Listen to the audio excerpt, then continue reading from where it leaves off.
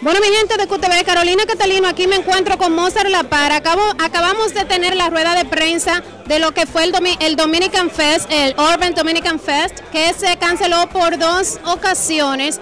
Y me parece todavía que a este tiempo, el 2014, señores, todavía se vive el racismo en contra de la música urbana y de los artistas urbanos. Se canceló simplemente porque ellos cantan urbano y se cree que puede ser que hay un problema. Ya después que tenían más de 2.000 tickets vendidos, ¿cómo tú te sientes con eso? Tú sabes que me siento mal y Anthony Río. Eh, no, esas son cosas que pasan. Eh, no hay mal que volver no venga. Pero fue un lleno total, o sea, se vendió todo. El género urbano es una realidad. Y vamos a seguir caminando, la gente va a tener que aceptarlo obligado. Obligado. Y los mejores exponentes del género, todos se unieron eh, para este, para este magno evento y es increíble. Se pudo hacer en Roxy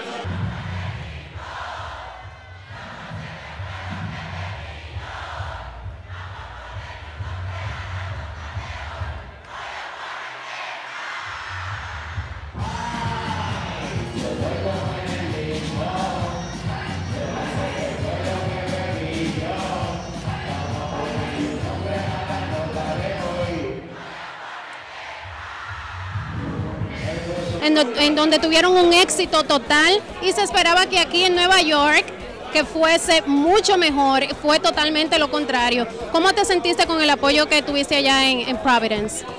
No, fenomenal. Ahí no cabía un mandado, eso estaba llenísimo, la gente se lo gozó. A todo, a todo el que cantó, la gente le hicieron su bulla, querían que canten más, pero que eran demasiado. O sea, los shows no eran tan largos, pero se hizo su show.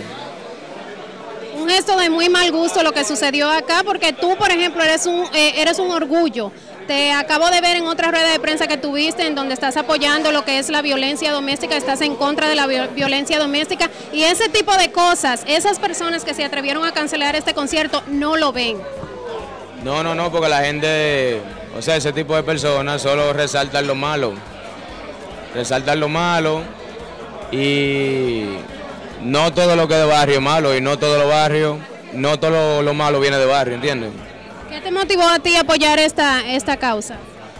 No, imagínate, lo que pasa es que como yo tengo un arrastre eh, por mi talento, por mi carrera, eh, tú sabes que eso, los fanáticos les gusta hacer a veces lo que hace su artista o su ídolo, lo que sea.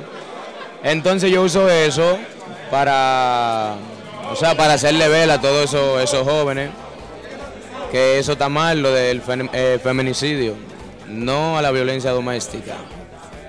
Bueno, Mozart, muchas gracias por haber compartido tu opinión y definitivamente estoy segura que tarde o temprano este evento se va a dar por lo grande como tiene que ser y al que no le guste que no se lo coma. Y lo dije yo, no lo dijo él. Ya, Brown.